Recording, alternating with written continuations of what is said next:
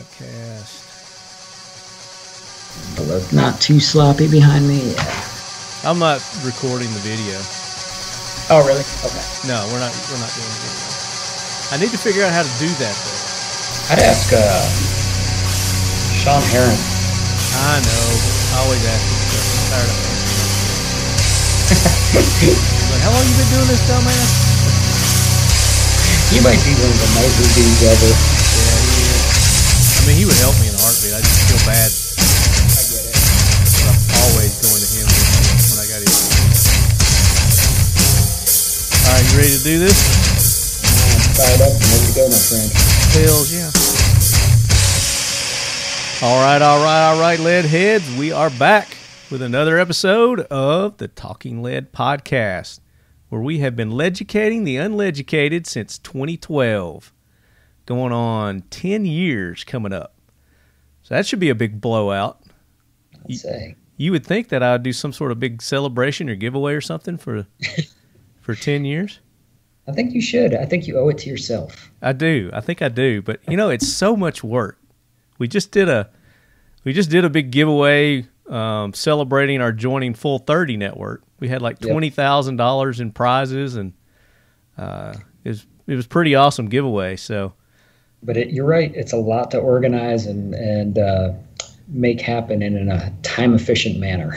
it, it is. I, I I don't know. Are you worth it, leadheads? Let me know. Let me know if you want me to do some sort of big tenth anniversary celebration uh, giveaway, and maybe I will, maybe I won't. I don't know. I don't know if these leadheads are worth it or not. so the voice you hear in the background, uh, some of you longtime leadheads may may recognize it. Or you may like that sounds familiar, but I haven't heard it in a while. It's our good buddy Chris Wood, who is now with Leviathan Group, the Leviathan Group, but was formerly with Tactical Walls. So, yes, sir. Chris, welcome in. Thanks, buddy. Really, really pumped to be back. Yeah, so we've been talking uh, a lot lately, and the the company that you're with, you've been with them how how many years now? A little over two. So yeah, still kind of new to Yep. to the Leviathan Group, and that's kind of what we're going to talk about today because you guys do some some pretty cool stuff. Yeah. Uh, definitely, uh, you know, stuff that I'm interested in, movies and, and TV and entertainment Yep. um, with with firearms. So we're going to talk about all the cool things that Leviathan Group is doing, and we're going to get caught up with Chris Wood, not Woods, Just the one, uh, find out what he's been doing in the woods. for sure. Uh, but first, we got to thank all those that make this podcast possible, because we don't go to you lead heads. I don't think any of you have sent me one one red cent, one red penny. So we got to rely on our sponsors, and our good buddies over at Keltec have been with this podcast for probably just as long as we've been doing it. So Chad and the group over there at Keltec, go show them some love on Instagram, on Facebook, uh, and then of course the best way to do that is go to your local gun dealer and buy their products.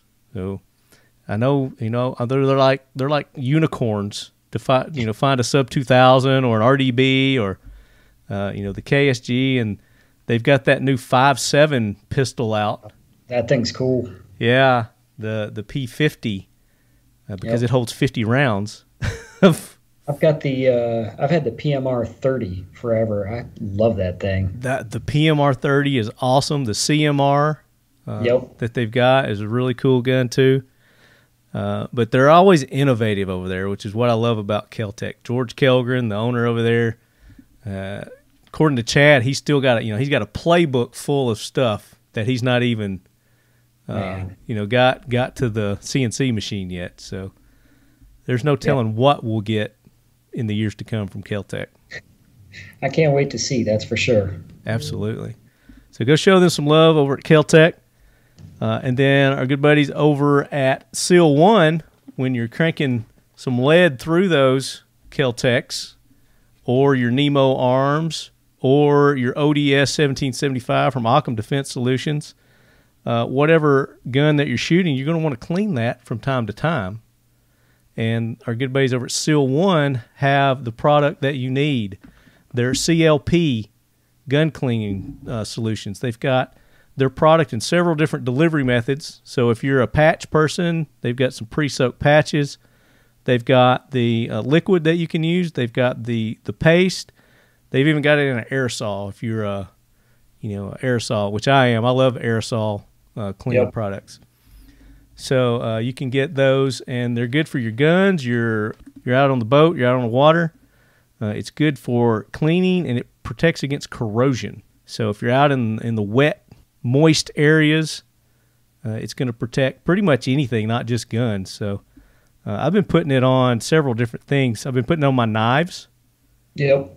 Been cleaning my knives and sharpening my knives with it. I put it on my car, uh, uh, kind of like a wax.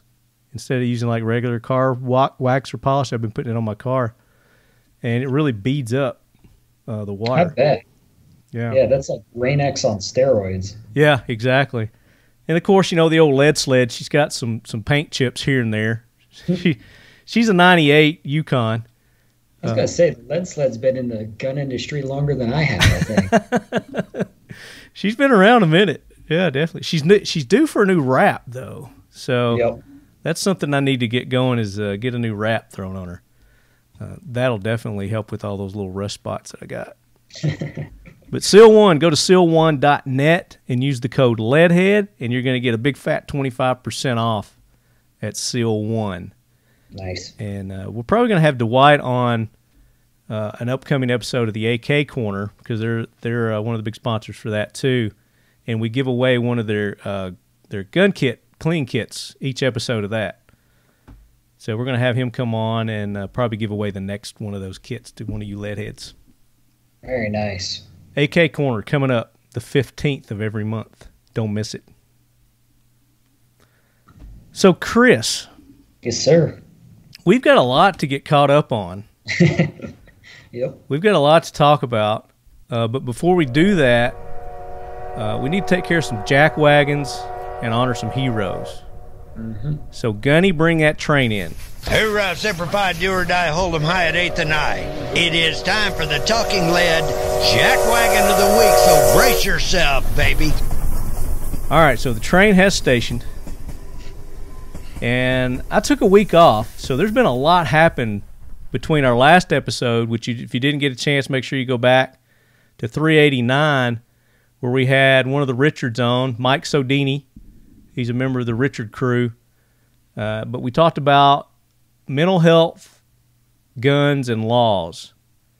And I think our jack wagons are probably going to play into some of this too, where we specifically were talking about in last episode um, that HR Bill 127 Yep. that's been proposed uh, and how uh, discriminating it is uh, against, you know, sp- specifically people who have mental health issues, uh, have been diagnosed in the past maybe with a mental health issue and are fine now.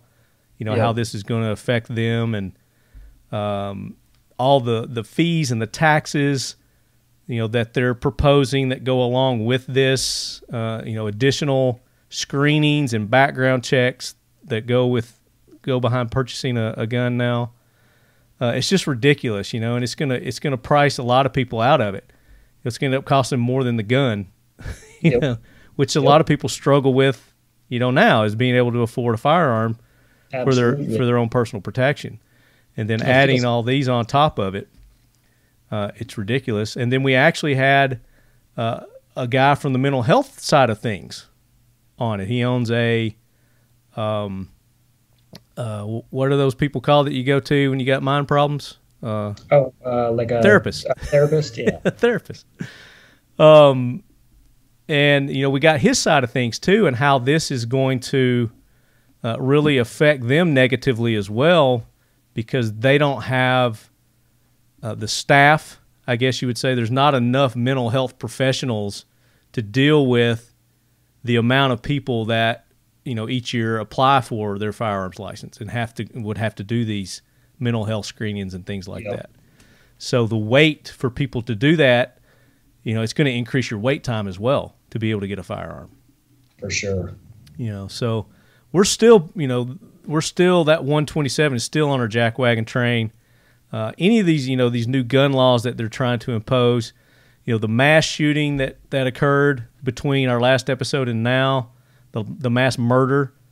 You know, there was another one in Boulder, Colorado, which it seems like the, everything happens in Colorado. You know, all these these mass murders are happening in Colorado. Something in the air and the water. I don't know what it is. They're certainly higher than the national average, aren't they? I would think so. Yeah, I definitely would think so. But you know, it's just it, during Trump's presidency. did we hear about mass shootings that often? I mean, were there? There was probably a couple. I don't know if there was. Uh, there was that guy in I can't remember now with I think it was Virginia Beach. There was that guy who went into the uh, like a federal building or maybe a municipal building and he had the suppressor and that's when Trump came out saying that he didn't like suppressors. Yeah. So, but it's just it's just how ironic it is that once this new administration takes office, you know, they're they're getting their crap you know, kind of in their first. How many days has this been? You know, their Yeah. first first two months of office. And now we're starting to see things fall in line for them to start pushing and promoting their gun uh, grabbing agendas. Now, it's just just very ironic. I think. Yeah, it was uh it's kind of clockwork, wasn't it? Yeah, it, it seems to be. And this guy, I mean, they're not really releasing a whole lot of information on him. I mean, by his name alone, he doesn't seem like he's an American to me. Um, What I've read so far, and you know, take it with a grain of salt because who knows what's true when you read stuff online at this point. right. But uh, my understanding is that he's a Syrian immigrant. And I don't know if it was a refugee situation or if he immigrated prior to that, but my basic understanding is that he was originally at least Syrian national. Let's see what this says. So this happened with the 22nd, March 22nd, uh, is when this shooting occurred. If you haven't heard about it, um, if you've been on vacation, you've been on spring break, uh, understand. All right, so just real, I'm going to recap at high level. 10 people, and one of those included a Boulder police officer, were killed in a mass shooting, mass murder, at a supermarket in Boulder, Colorado on the 22nd. The suspect, uh, they got him in custody. I think they shot him in the leg or something, which is an, is another strange thing because most of these people end up dead. These um, these mass murderers, either they Yeah. off themselves or they do um, suicide by cop. Yep. Uh, so ten people. This was at a, like a supermarket. They're saying that he used an AR pistol, Yep. An AR-15 pistol, so shooting the 5.56 rounds. It was it was braced, is what they're saying. Uh, but I've not I've yet to see any pictures of the actual firearm used. All of all it is is hearsay and and talk. So I haven't seen anything to prove to me that that's what he actually used, which I'm not saying he didn't. Very well may have. Some of the shooting was live streamed. Oh my gosh, I'm sure all that's been taken down now. Oh yeah. Yeah. There was one guy who instead of calling nine one one just started live streaming. I remember that. Oh my gosh, what a douche! Yeah. Yeah. His uh, his response to danger is very different than mine. Court. So, Boulder Police Chief Maris Her- Herold confirmed Friday the suspect used a Ruger AR-556 pistol. Okay, he confirmed it, but Yeah, have actual gun experts confirmed it? right. you know what I mean? Yep. Um, the dude's name is Ahmad Al Aliwi Alissa. I don't know. He's a- one, two, three, four A's. Yeah. Call him the quad, the quad A. uh, this was, as I'm reading this, this was about three hours ago. He's set to appear in Boulder District Court before a judge. Um, it will be the suspect's second appearance in what expect to be a lengthy court process. His defense attorney said at his first hearing last week that they need time to uh, assess his mental health. So, um, we think he's Syrian. But they said he, he obtained the gun legally. Yep. Did a background check and all that. I thought if you weren't an American citizen, you couldn't do that. You've got to be in the country so long. You got to have some sort of citizenship, right? That was my understanding, but it looks like he's gone. He went to high school here, so who knows? He must have come here. Maybe he's half. Could be. I heard that he was on a watch list, a terrorist watch list. Again, that sounds familiar on some of Yeah. these these mass shootings. I mean, if you're on a watch list, Well, unless he purchased it prior to being put on that list. I think he he purchased it days before. Oh, is that right? Yeah, from what I understand, he he purchased it just some days before, maybe a week before, something like that, a couple of weeks before. But even that list is potentially pretty troubling because you or I could get put on that list for any number of reasons and then not be allowed to, you know, exercise our Second Amendment right. Well, you know, and that that's the thing. Yeah, just like fly list, no fly list. So you're automatically being stripped of constitutional rights without any due process at that point. Yeah. So apparently, the fact that he was on the FBI's list or whoever's list didn't matter. Yep, So we can be on their list and we can still buy again, supposedly. for now. for now. Yeah. But anyway, I mean, there's still a lot of, of things that they're not, or I haven't been able to find questions that I have uh, that just that just seem pretty obvious. But the the way the media is reporting it, it's just so matter of fact. Is like he was, you know, he was legally able to obtain a firearm, and he went and he killed ten people. I mean, that's basically all I'm getting right now. Yep. Those are the uh, the exciting talking points, depending on your narrative. I don't know enough about this to really uh, go on about it, but uh, this is this is one of the things that is spurring uh, the controversy. All the new gun laws that uh, that we're going to be hit with coming up very shortly. Maybe some executive orders. Do you think he'll go that far as to impose some executive orders? I mean, it's certainly been the trend for the last several presidencies, all the way back to Bush W. Is at least the time in my life that I've been aware of when those really started to become a whole different level. And uh, you know, of course, no president since then has done anything to limit that power, and I certainly don't expect this administration to. Yeah. Uh, but they're saying no motive right now. There's been no motive. Yep. So, given his religious background, his name, he's from Syria. They're just why are the not even speculating that it's terrorism, that, that he's a terrorist, that you know that he's a radicalized, uh, and if he's an American, I mean, then just say that he's a radicalized American. Yep. Uh, Yeah. so as the world moves on, some of those who were witness to the terror are finding the path forward difficult. I don't know if I'm going to be able to look at the parking lot every day. Blah blah blah. Give me the motive. He wasn't able to celebrate 20. I just the, the way they paint the victims, you know, and and yes, they should talk about the victims. I, I have no problem with that. And uh, we were talking earlier. Also, I was driving around town and I saw the the flags at half mast last week. I was like, why are the flags at half half staff, half mast? Uh, I guess it's half staff if you're on ground, and it's half mast if you're on a boat. Yep. Yep. That that would be the uh, the difference. Uh, but it's apparently Biden ordered all the flags fly at half mast in honor of the the ten victims. Mm-hmm. Which you know, I kind of get that, but doesn't that take away from the true meaning of why you fly fly a flag at half staff?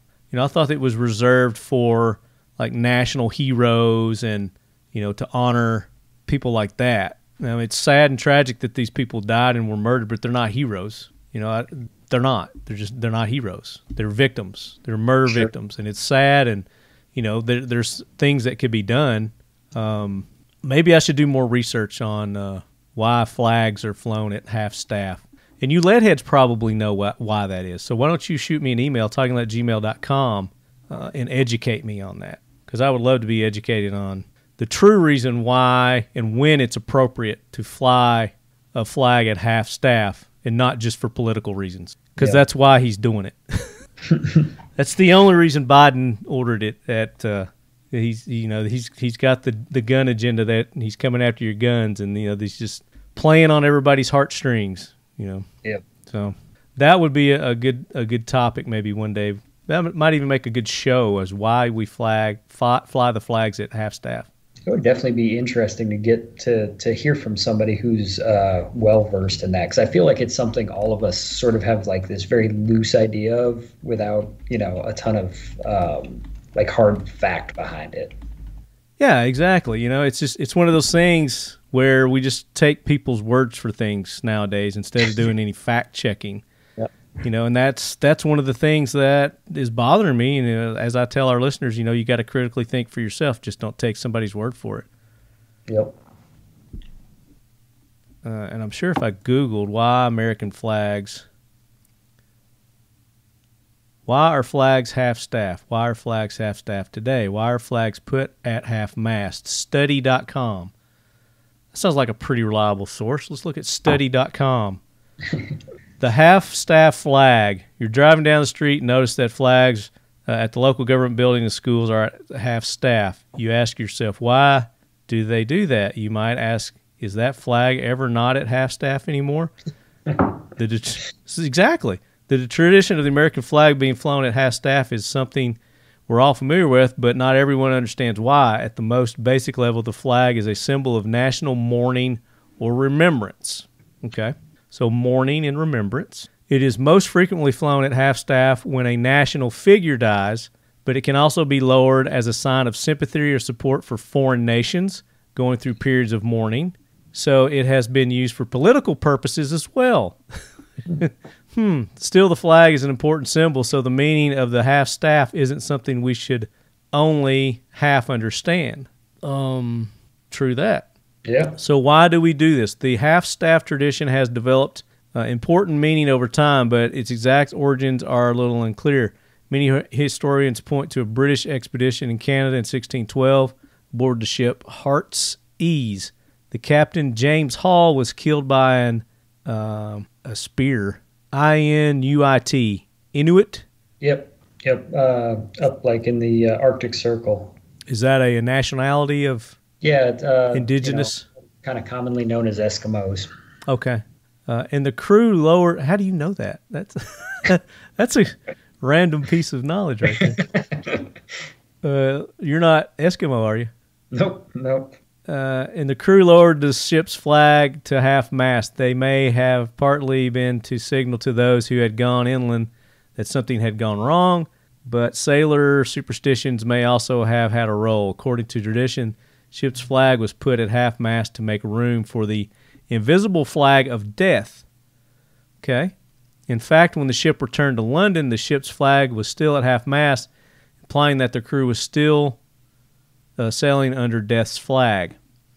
Whatever the origins, the tradition tradition became more widely embraced over time, particularly by sailors. One of the first uh, accounts we had of this practice in American history uh, is from 1799, when the Navy Department ordered all of its ships to lower their flags to half mast upon the death of George Washington. The tradition continued spreading from a maritime practice to a national one but remained informal until President Dwight Eisenhower issued Proclamation 3044, legal, legally standardizing the custom in 1954 for the national flags of all federal buildings. The current rules regarding the treatment of the f- national flag at half staff can be found in the United States Code Title 4, Chapter 1, Section 7, in case you're ever interested. I'm sure that's some great reading. That's some dynamic radio reading right there. So it says, so exactly how does this practice work today? According to the formal rules in the U.S. Code, the President of the United States may issue an order for national flags to be lowered to half staff in times of national mourning.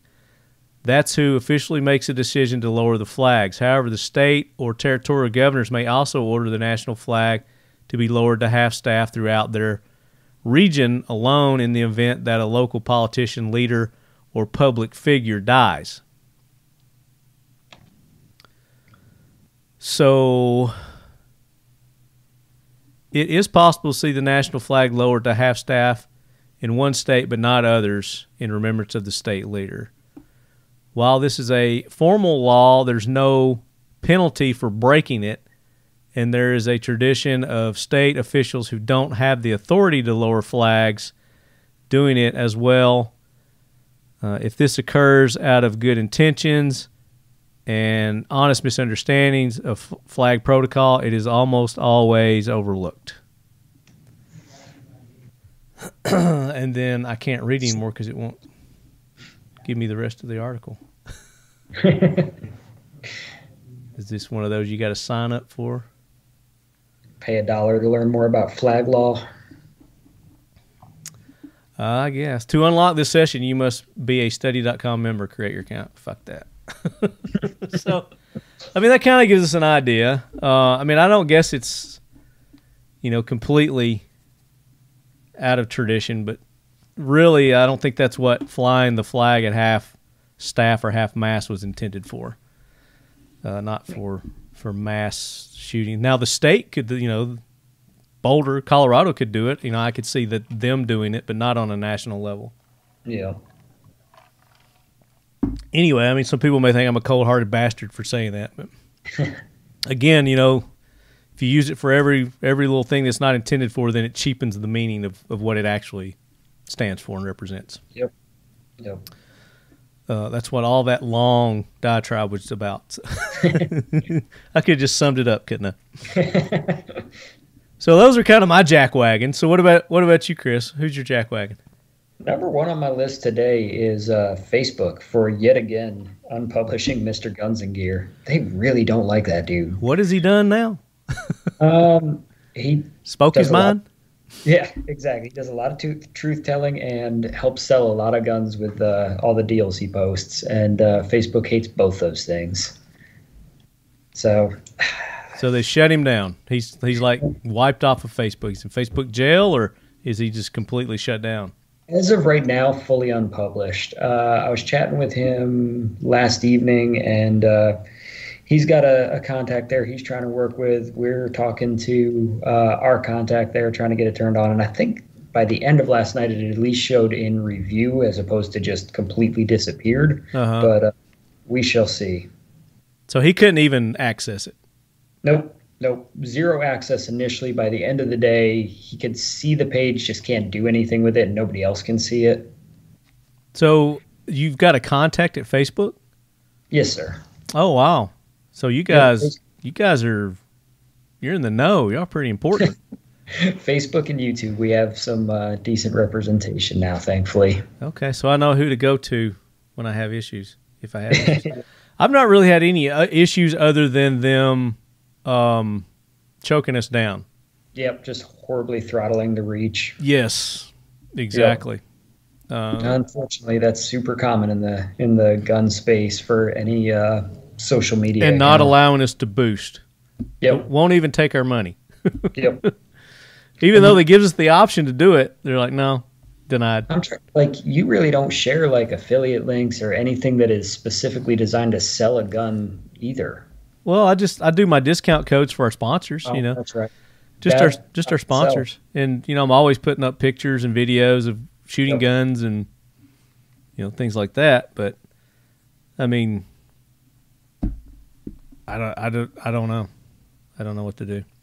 Yeah, big tech hates uh hates guns. That's for sure. I don't know why. Just don't know. Just don't get it. No, uneducated is what it is. Guns. And like it's so fun. I love shooting. It's so fun. uh, but no, I mean that's the thing. It's just it's education. Um, it's the uneducated trying to control and um, do away with something that they don't understand. They have no understand they and they don't have any desire to. Right. It's just go away because I got no use for you. You know, it's just right. like me with like social media when it first started. I was the, the same opinion. It's like just go away. it, I was I resisted for as long as I could. I finally created a social media account when I had a band that I cared about and trying to promote that. Uh, it went absolutely nowhere. But, uh, but we tried. Well, that's the only reason I started one was you know, for Talking Lead. Yep. Um, we had the Facebook page originally, and then Instagram came sometime after Facebook because they weren't at the Yep. same time, and um, was resistant as I could be on that for as long as I could be. Um, but finally, eventually, you know, put one up and we're doing it. You know, same thing with like, um, what's the new the Parler? Yep. You know, it, it was a new one, and I just was like, no, I don't need another one. But Yes. then, you know, you hear about everything that Instagram and Facebook is doing to our industry, and Parler says, you know, they don't. They allow everything. And Yeah. then so we go there, and then what happens? You know, They got turned right off, didn't they? right? They got they got shut down, and in my opinion, now. it was illegally. Yeah. But they are back up and running now, correct? Yes, they are, and we are back on there. So, Leadheads, if you're Parler, uh, I'm gonna do my best to start posting more on Parler now. It's just one of those things I gotta get in the habit of doing. You know, I got a routine. Is like when I post, and I got to go here, then I gotta go here, and now I got another step. So, I wish there was a way to just like do them all. You know, one It'd be so much easier. it would it would be so It's- much easier. You're right. There's a ton now. I mean, there's Parler, Rumble, Minds.com, The Jump, uh, TikTok. TikTok. TikTok makes me feel like such an old dude. I'd never even looked at it. I've opened it like three or four times, and every time I'm immediately just like confused and overwhelmed. I'm like, yeah, no, this is. It's clear I'm in my early 40s now. Yeah. Well, how do you think I feel? I'm 50s. I'm a whole decade older than you, so. Uh, but I try, you know, I try. Uh, I rely on people like you and some of these younger generations to keep me honest. Of course, like we were talking earlier, you know, Sean, Sean Yep. Heron, uh, he keeps us pretty good and up to date. Such a good dude.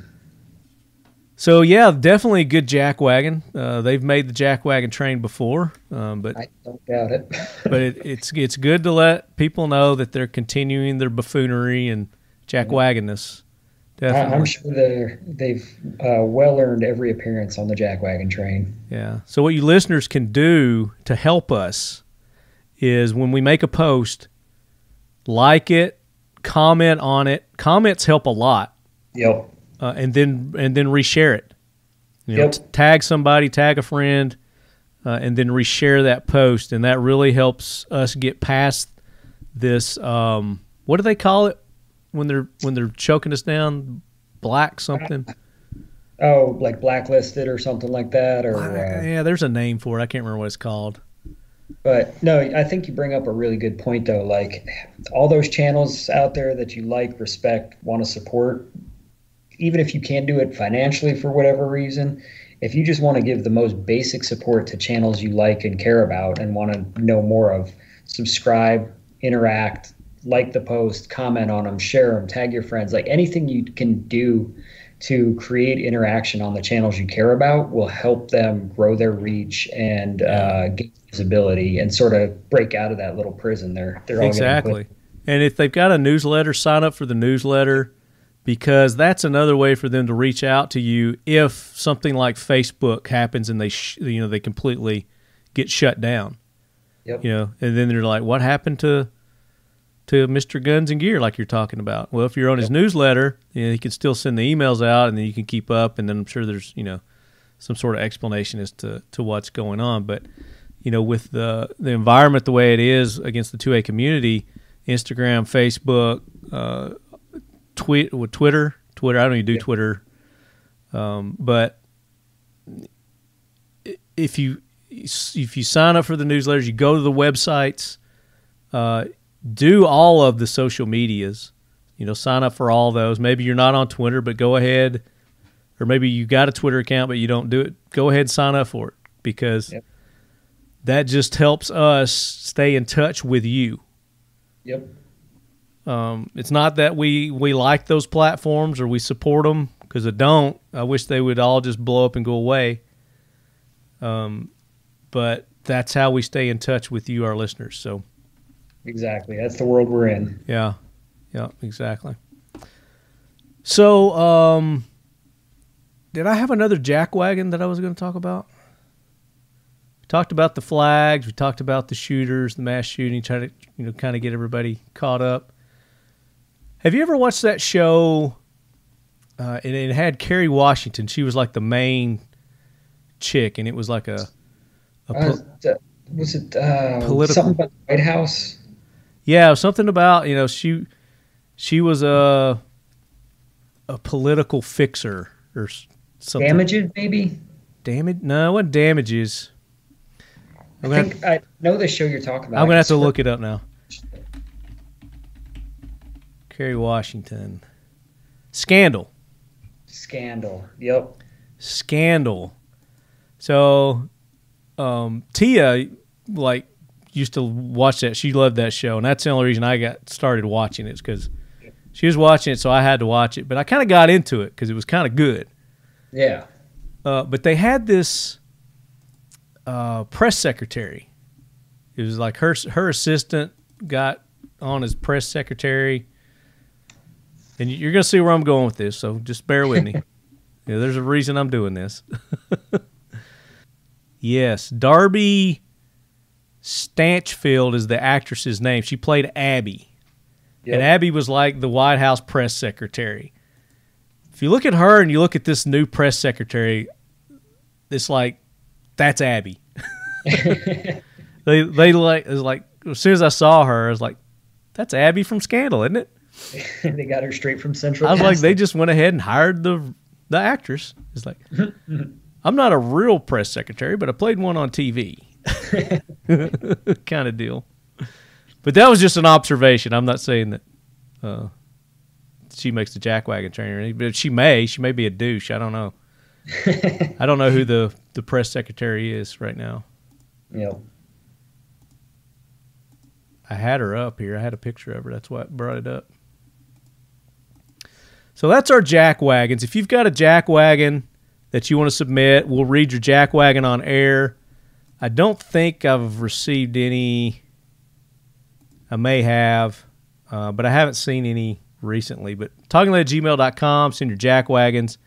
Uh, and then we're going to do our heroes. So if you got a hero also, send those in. Uh, but let's talk about our heroes. Let's go ahead and jump on our heroes, Chris. Who's your Leadhead Brigade hero? So I'd, I'd love to give a big shout out to um, Kurt and Jesse from Blue Alpha Gear. Uh, I haven't talked to either of them in a really long time, but they got. hit I haven't a- either, man.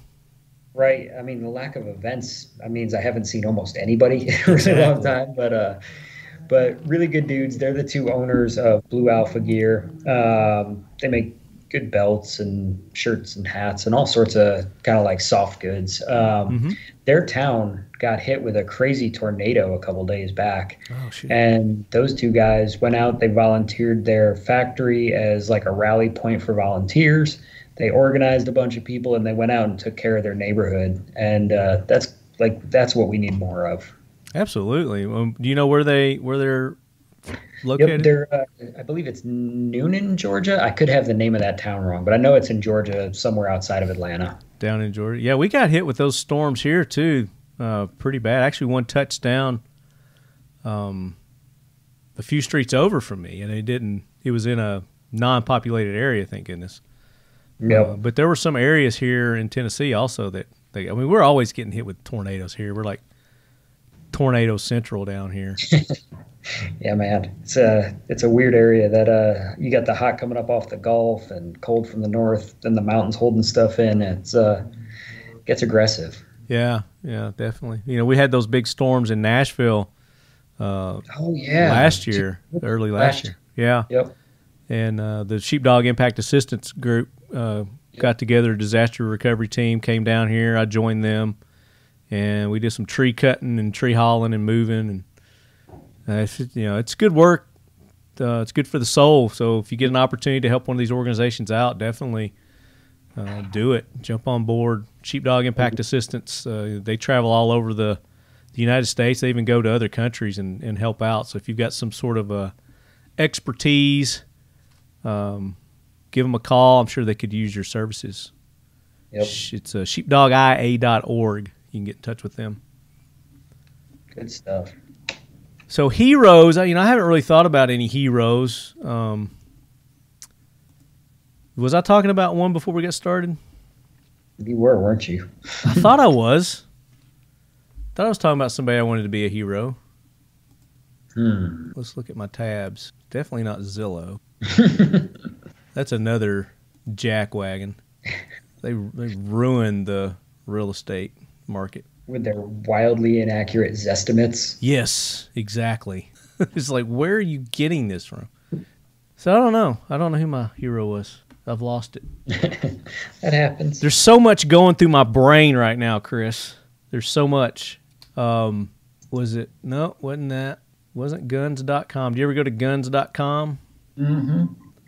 I was just on there the other day. They have a bunch of uh, like crazy, like old school, like safari hunting rounds, like 458 Lott and 500 nitro. Oh, here's an article on the uh, the the ATI Schmeiser 60 round AK magazine, which I've been I've talked about it. I, I released an Instagram video on this the other day. Yep. American Tactical Imports is exclusive importer for the famous Schmeiser Firearm Company of Germany. Let's see if they're giving. They're not giving a review on it. So I actually shot it semi-auto and full auto. And these things are a, a booger bear to load, and if you don't Yep. if you don't pay attention as you're loading them, you can get them off track very easily. Are they uh, straight mags? Well, not straight, curved mags, or are they drums? They're curved mags. Yep. Yeah, they're the banana. Um, Oh, is it the one that goes almost all the way up? no, no.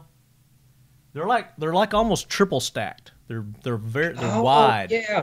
Yep. I know the one you're talking about. Okay, I'm with you. I've got one in here somewhere. I don't know where I put it. It might be out in the garage. But anyway, um, so because they're like triple stacked, uh, if you bump it or something like that, it could it could easily kick one out of out of position. Yep. Yep. Uh, but I did shoot it semi-auto. Put a couple of around a couple of mags through um, some AKs the other day, and semi-auto shot fine. Didn't have any problems with it. Uh, and then I did a full full auto, and it didn't like full auto. No. It didn't like full auto at all. No, it didn't. But I'm going to take it out again, try it again. It's just they're so hard to load. yeah. You know, I even tried it with uh, a load assister. Yep. and it's still i mean it was just as hard as doing it with your thumbs I mean, that's a lot of spring to compress. it is it is a lot of spring now if they could come up with some sort of a a, load assist with it Yep. uh, i think they would they you know they would probably get a better they they might perform better i don't know So it sounds like right now that thing is a range toy, not a uh, actual like legitimate. i wouldn't no i would at this point in time i would not rely on that for life and death no Yep. Uh, but that's just my initial take on it right now. I still I still going to take it out and try uh, shooting some more stuff, and we'll see what happens. They also sent me an AR one. I've got an AR one also. Yep. I haven't tried it yet. So uh, a two two three five five six, 60 round uh, Yeah. straight magazine. It's not a drum. So You know, an AK AK is one of the few things I don't own yet. what? I know. I can't I know, believe that. I uh, I actually just I was just down in Florida with uh, Brandon Herrera, and I put myself on the uh, waiting list. So next run he has, I'm getting one of his underfolders. Okay, that should be a good one. Yep. I'll tell you what, though, you want to get a really good one, you get the ODS 1775. I don't know if you can see Yep. it back there, but worth every penny. Yeah. They are worth every penny. And they're only going up in price. No doubt. Seven six two three nine is about the only thing you can find that's still even close to reasonable too for ammo. yeah, well, you can't find any ammo now, especially after this this Yeah. last this last shooting. I mean, the the pandemic wiped everything out, and the the riots. You know, Yep. when we went through that, and that put everybody behind like five years on For ammo sure. supply, and then now with this, with the gun bans and threatening of, you know, these new laws, I went to the, the store the other day. I just wanted to see what the shelves look like. Yep. I like doing that from time to time. You know, I'll go to Academy, I'll go to Outdoorsman's, I'll go to Bass, and just you know see Yep. what things are looking like, what prices they're going for, and bare nothing. Yeah. And the guns were the same way, but you know they were starting to come back a little bit. You know, people were starting to get the inventory and yeah, I mean things were looking promising. Looked like you know they were starting to get inventory back in, and and then this just completely wiped it out again. So, Yep. uh, Yep. but it's one of those things that oh, I'm terrible with sayings, and I was doing this last episode too. It's like I've got all these sayings, and I they come to me from time to time, but when I need them, I can't ever remember them what they are. but the gist of it is, um, if you're preparing, you're too late, kind of thing. Yep. I don't know. I'll think of it in Yep. a minute. If you're preparing for the chaos that's already happening, you're too late. Yeah, but this was this was like this guy said it good. he, he had a better way of saying it. That was like Yep. ah. And I was like, I'm gonna I'm gonna use that next episode. That's, that's what I get for not writing shit down. Yep. Uh, but yeah, I mean, if if if you haven't already prepared, then you're too late. You should have already sure. been prepared. Yep. So I don't really have any heroes. I just I saw this article when I was looking for heroes on the ATI. Uh, I've done some research with it. I wanted to see if the firearms news actually uh, was taught. They're just advertising it, so they're just saying it's out there, it's available. My initial testing is still up in the air. Yep. I'll put it I'll put it that way. But it semi-auto, the AK mag, it did work. Um, it did work good. Good. But for the I don't know the effort of loading those things, I just I just rather do a mag switch. You know. Yep. yeah. Saving yourself a lot of time there. You are. I mean, you really are. We did. We were talking uh, on on one of the AK corners. Had some. I did competition shooting last episode. We talked about AKs and competition shooting, and one of the shooters was Kyle Moore, and Kyle was talking about how he starts off with like a forty round mag.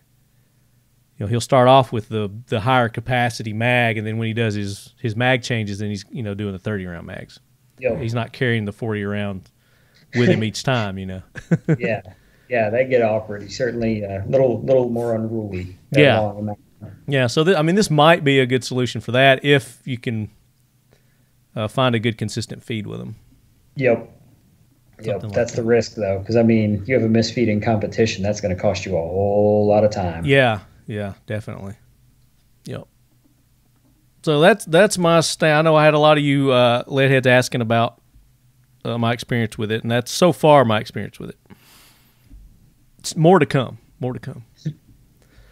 All right, Chris. Yes, sir. we're getting the train out of here. Lead Force One is taking off with our one hero. If I think of who mine was, we'll bring it back and, and load them up. Uh, but we want to talk about Leviathan, Yeah. Leviathan Group, because um, it's very interesting to me, and I think my listeners will be interested uh, too, as as to what you guys are doing. And it's it's one of those things where you guys are in the the industry that hates our industry. but they Right. glorify our industry but then at the same time they demonize it you know so Yep. Talk about leviathan group you know who you are what you do Sure. It's funny. So Leviathan, our our uh, our logo is an octopus, and it's pretty accurate because there's uh, we're up to at least five companies now, and probably be eight by by the time we're done.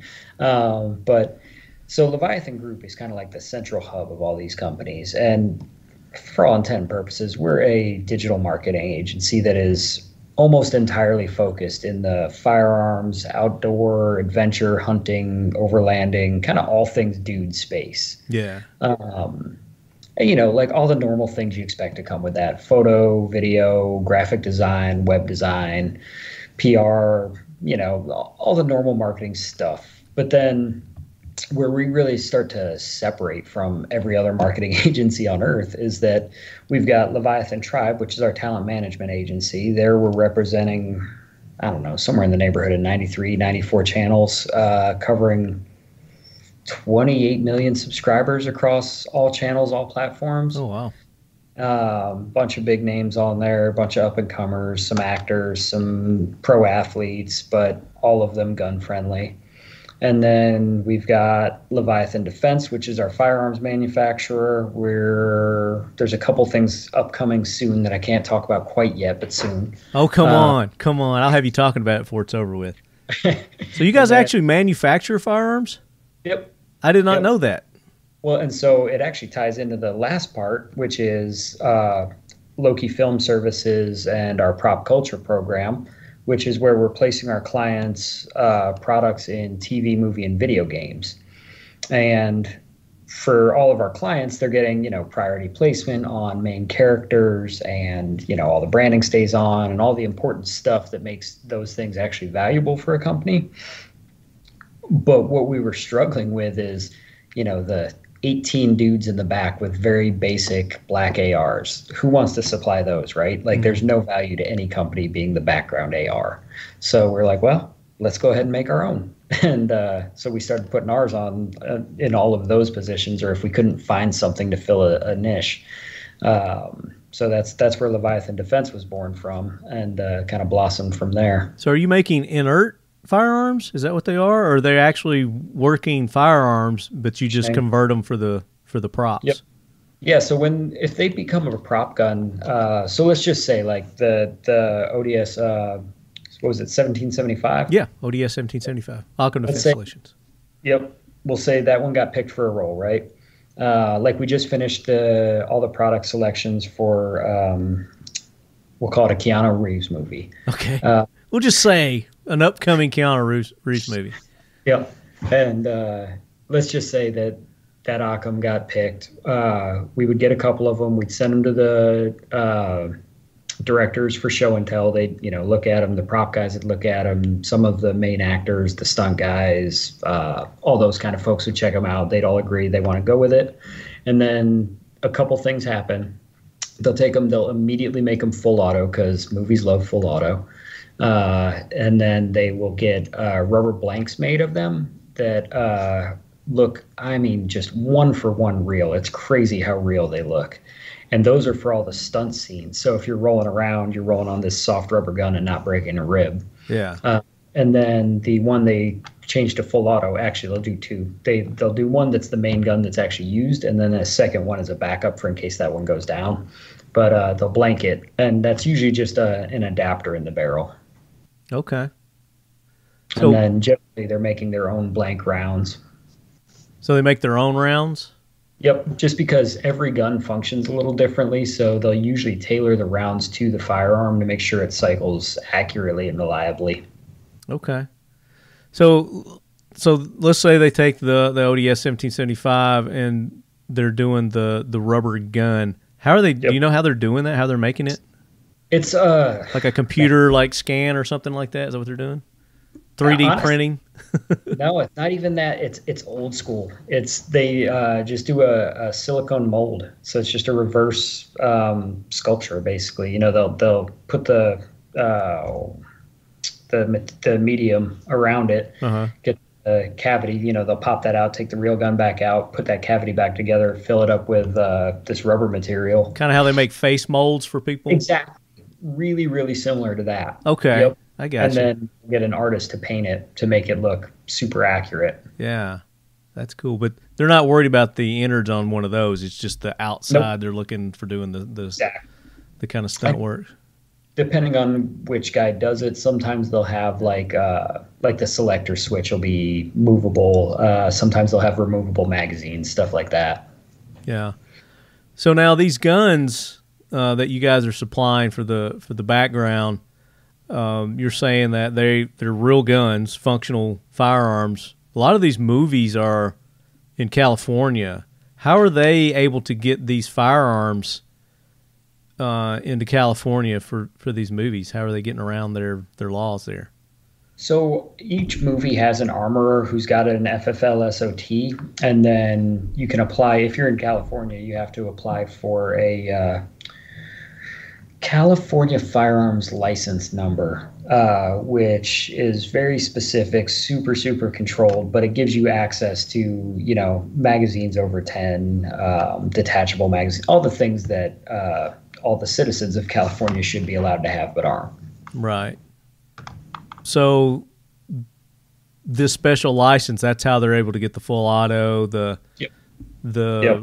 real what's that butt? They can't have butt stocks or something. The grip has to be connected. Oh, yeah. to, it It doesn't have to have that weird space grip that all the California guns have now. Yeah, and that button, they the the mag release button, bullet button, bullet yeah. button. So, Um, so they get around that because they've got this special license, and it's probably Exactly. just for the movie industry, isn't it? I think uh, certain certain dealers and retailers can get it as well, Yeah, is my understanding. But that that part I'm definitely not an expert on. Gotcha, uh, gotcha. But uh, what was I gonna- yeah, so we send them all semi-auto. So we'll send everything basically stock, and then they'll convert it to full auto on site. You having a party? Everybody is uh, apparently hanging out right, outside- right outside my office door currently. is it quitting time? Is that what it is? We're getting awful close. Getting off close to quitting time. Yep. So that that's cool. I mean, apparently you're working with big names. Name name some past movies, TV shows that Leviathan has provided the, the guns for. Sure.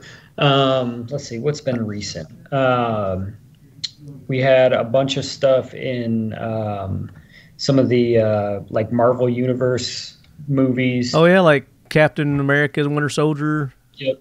Bunch of those ones. Uh, a lot of stuff with The Rock. Uh, we did a bunch of stuff with Will Smith. Like we actually here, I've got the gun from I Am Legend, like the one he was Oh, I love that movie. full time. Yep, we've got his gun here. Um, what else have we done? Did a bunch of video games. Um, Now TV when you shows. do when you do video games, Yep. so I, I take it you send them a real gun and then they're they're doing their digital scan or whatever of that that firearm. It's pretty interesting, man. That that one was actually surprisingly more interesting to me than the movie stuff because uh, they'll take it and it's generally about a thousand rounds put through it, and the whole thing is completely digitally mapped start to finish, so that once it goes into that game, it's as close to a real simulation as possible of using that specific firearm. So like you know the muzzle flash is accurate uh, recoil impulse um, you know reload dynamics uh, all the ergonomics how flat does it stay when you shoot uh, you know where do optics actually sit on it stuff like that. Mhm. so and especially now moving into the um, virtual reality games it's crazy accurate. Like we just did one for microtech where uh, you know the virtual reality ones they generally have two handles with buttons on them hmm and just like a real microtech, when you slide that button forward, the knife pops open. Oh, cool. Yeah. So it's a bunch of stuff like that that's pretty interesting. Which video games? You in like the Call of Duties or any of those? Uh, we've done little bits here and there with those ones. Most of the ones we've done have been um, like the kind of hardcore PC games. Okay. Um, let's see, what did I just work on? We're working on Scum, um, Anchorage, uh, day before. Man, there's like 15 of them in play right now. I, I honestly don't remember them all. Now are these these um, video game companies, movie com- are they buying your your guns or are you they just like renting them? Usually renting. They're renting them. Yep.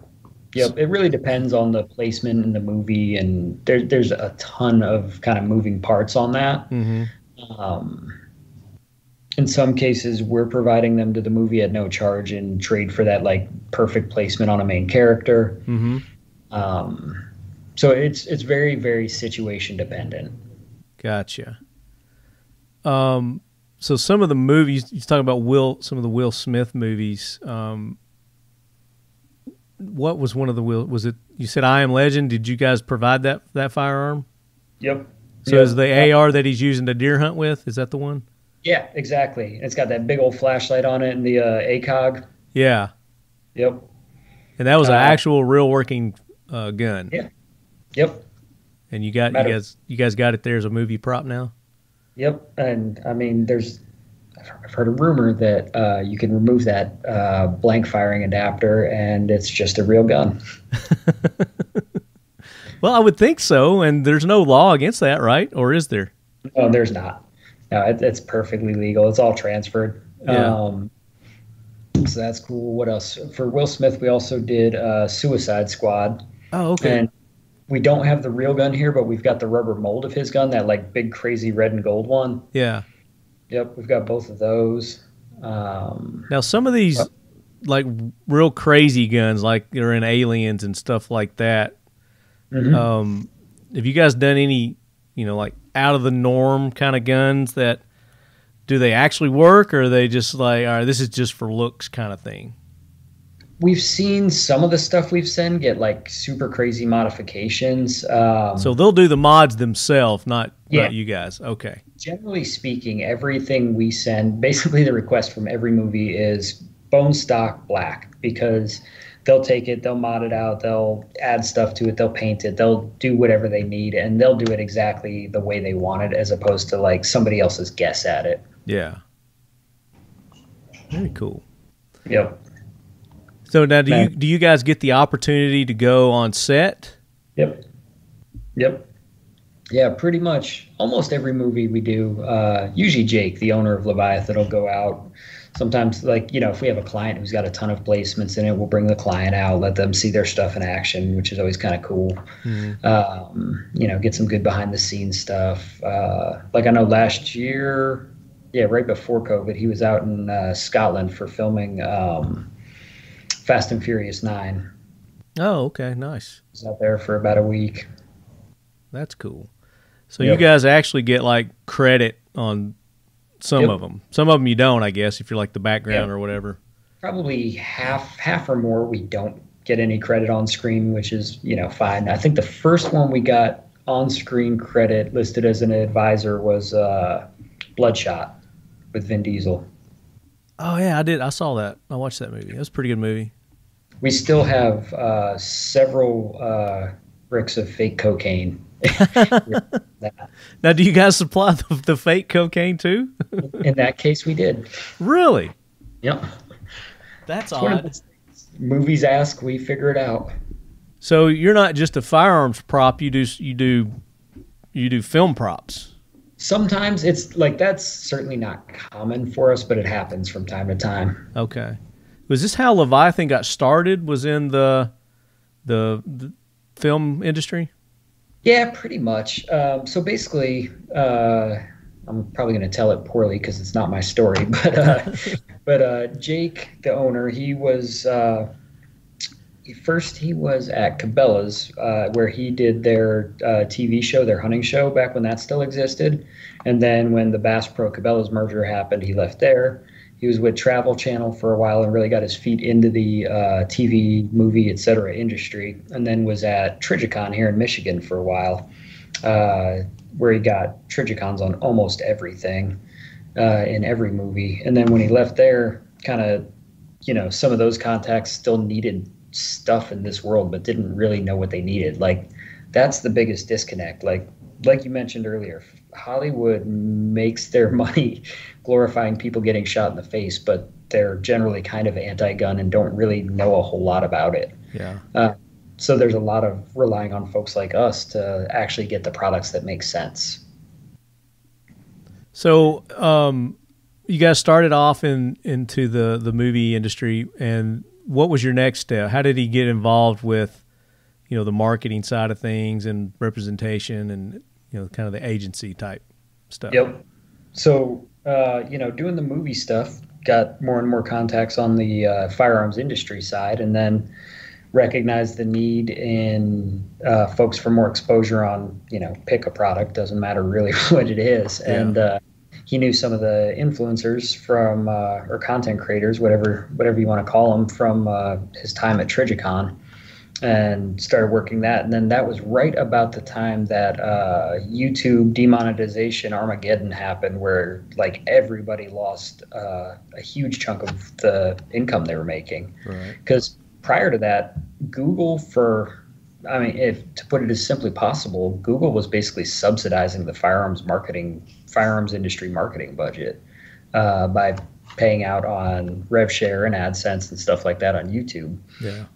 And then they pulled that rug out and uh, so there was all these channels out there who had you know good credibility great audiences people were looking to them for information but now they weren't getting paid for working which you know as a, a proud capitalist in america an american like that bothers me because if you're going to go to work you should get paid for it that's kind of the whole deal That's right. That's right. and so uh, you know he he kind of recognized that hole and uh, helped organize some of these channels so that um, you know, they were getting paid for the work they were Well, if you ever run across a, a movie or you know TV show or something that is looking for a a, a podcast prop, I got you. I think All Talking Lead would be perfect in the background for you know one of those movies. Definitely. for sure. Hell yeah. Keep me in mind. I think it's I think it's fascinating. I think it's very interesting. Um, I'd met a, a gentleman uh, about two years ago at Shot Show 2019. Uh, Shot Show. His name is Rock Galati. Do you know Rock? Yep, I do. We just shipped him a bunch of stuff. Okay. Um, just talked to him today, as a matter of fact. So Did you really? Yeah, yeah. Um, but Rock is kind of in that industry. So uh, Rock is the guy that I guess for movies gets in touch with you, right? And then Yeah. and and works Yeah. out the We're working with him on a couple different projects right now. You know, he's a he's a good guy, really in the know. yeah, definitely. Uh, maybe one of those Keanu Reeves movies that you're you were talking about. I I, I couldn't say. yeah, yeah. I know. I know you got some NDAs and stuff like that, but. Um, what's something maybe that you could talk about? Maybe there's a new movie that's getting ready to be released, or you know something like that. It's already been advertised. What, um, what, where can we look for Leviathan's firearms? When we're watching the movie, and go, oh, that's the, the gun they were talking about on Talking Lead. So, Fast and Furious Nine is due out, I believe, in April.